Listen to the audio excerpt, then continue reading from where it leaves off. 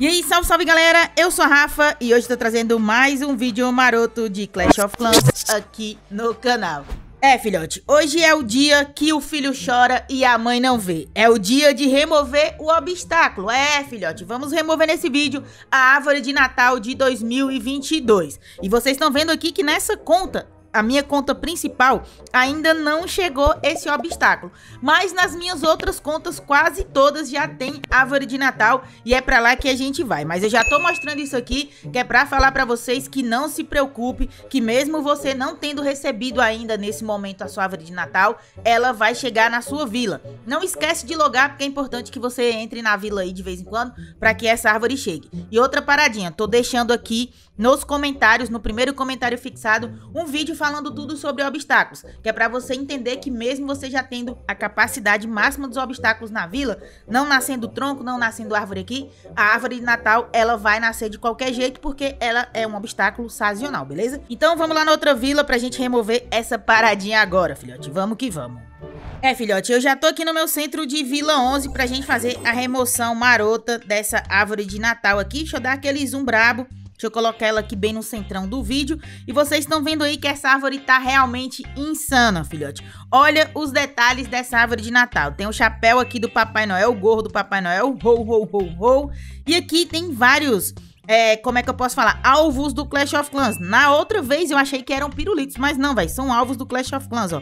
Chega ali, tem uma, uma, umas flechas também. Aqui embaixo vocês estão vendo que tem um presente roxo com uma flecha. Tem um presente verde aqui do lado, uma bomba tem a espada, velho. Olha aqui que insano. A espada, a espada aqui do rei, né? Tá com um laço ali de presente embrulhada. Olha que topzera essa árvore de Natal. Na minha opinião, é uma das mais bonitas que tem aqui no jogo atualmente, tá? Então vamos lá, vamos remover essa belezura. Então vamos lá, vamos remover essa belezura. Para remover serão necessárias aí, ó, 25 mil de ouro, tá? E outra paradinha, não esquece que agora a pá, ela é permanente. Se eu usar a pá uma vez aqui nesse obstáculo, eu vou poder movimentar ele qualquer hora aqui dentro do jogo, tá? Também tem essa paradinha aqui marota, já fiz um vídeo falando sobre isso.